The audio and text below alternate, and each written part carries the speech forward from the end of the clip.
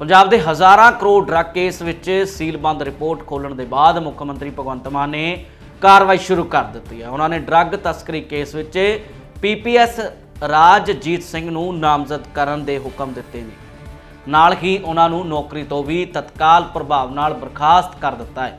ਮੁੱਖ ਮੰਤਰੀ ਮਾਨ ਨੇ ਰਾਜਜੀਤ ਸਿੰਘ ਵੱਲੋਂ ਚਿੱਟੇ ਦੀ ਤਸਕਰੀ ਤੋਂ ਕਮਾਈ ਗਈ ਸੰਪਤੀ ਦਾ ਪਤਾ ਲਗਾਉਣ ਲਈ ਪੰਜਾਬ ਵਿਜੀਲੈਂਸ ਨੂੰ ਜਾਂਚ ਦੇ ਹੁਕਮ ਵੀ ਦਿੱਤੇ ਹਨ।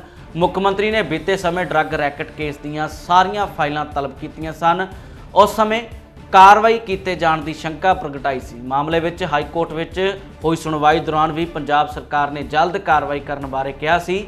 ਹਾਈ ਕੋਰਟ ਨੇ ਐਸਐਸਪੀ ਮੋਗਾ ਰਾਜਜੀਤ ਸਿੰਘ ਸਣੇ, ਇੰਸਪੈਕਟਰ ਇੰਦਰਜੀਤ ਸਿੰਘ ਨਾਲ ਸੰਬੰਧਿਤ ਮਾਮਲੇ ਦੀ ਜਾਂਚ ਦੇ ਹੁਕਮ ਐਸਟੀਐਫ ਨੂੰ ਦਿੱਤੇ ਸਨ। ਰਾਜਜੀਤ ਸਿੰਘ ਨੇ ਹਾਈ ਕੋਰਟ ਵਿੱਚ ਅਰਜ਼ੀ ਦਾਇਰ ਕਰਕੇ ਕਿਹਾ ਸੀ ਕਿ ਐਸ ਐਸਟੀਐਫ ਮੁਖੀ ਹਰਪ੍ਰੀਤ ਸਿੰਘ ਸਿੱਧੂ ਉਹਨਾਂ ਦੇ ਮਾਮਲੇ ਦੀ ਨਿਰਪੱਖ ਜਾਂਚ ਨਹੀਂ ਕਰ ਸਕਦੀ। ਹਾਈ ਕੋਰਟ ਨੇ ਡੀਜੀਪੀ ਸਿਧਾਰਥ ਚਟੋਪਾਧਿਆ ਏਡੀਜੀਪੀ ਪ੍ਰਬੋਧ ਕੁਮਾਰ ਤੇ ਆਈਈਡੀ ਕੁਵਰ ਵਿਜੇ ਪ੍ਰਤਾਪ ਸਿੰਘ ਦੀ ਸਿੱਟ ਗਠਿਤ ਕਰਕੇ ਜਾਂਚ ਦੇ ਹੁਕਮ ਦਿੱਤੇ ਸਨ। ਜਾਂਚ ਕਮੇਟੀ ਨੇ ਆਪਣੀ ਰਿਪੋਰਟ ਹਾਈ ਕੋਰਟ ਨੂੰ ਸੌਂਪੀ ਸੀ, ਜਦੋਂ ਕਿ ਸਿਧਾਰਥ ਚਟੋਪਾਧਿਆ ਨੇ ਦੋ- ਦੋ ਰਿਪੋਰਟਾਂ ਵੱਖ ਤੋਂ ਸਿੱਧੇ ਹਾਈ ਕੋਰਟ ਨੂੰ ਸੌਂਪੀ, ਜੋ ਹਾਈ ਕੋਰਟ ਵਿੱਚ ਸੀਲਬੰਦ ਲਿਫਾਫੇ ਵਿੱਚ ਸੀ।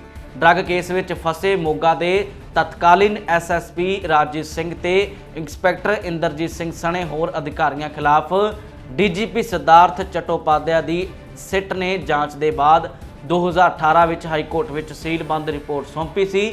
ਇਸ ਤੋਂ ਬਾਅਦ ਸਿਧਾਰਥ ਚਟੋਪਾਧਿਆ ਵੱਲੋਂ ਇੱਕ ਹੋਰ ਰਿਪੋਰਟ ਵੀ ਸੌਂਪੀ ਗਈ ਸੀ। ਪੰਜਾਬ ਸਰਕਾਰ ਨੇ 23 ਮਈ 2018 ਨੂੰ ਸੀਲਬੰਦ ਰਿਪੋਰਟ ਤੇ ਆਪਣਾ ਓਪੀਨੀਅਨ ਹਾਈ ਕੋਰਟ ਨੂੰ ਸੌਂਪਿਆ ਸੀ। ਸਾਲ 2021 ਵਿੱਚ ਹਾਈ ਕੋਰਟ ਨੇ ਇਸ ਤੇ ਕਾਰਵਾਈ ਕਰਨ ਦੇ ਹੁਕਮ ਦਿੱਤੇ ਸਨ।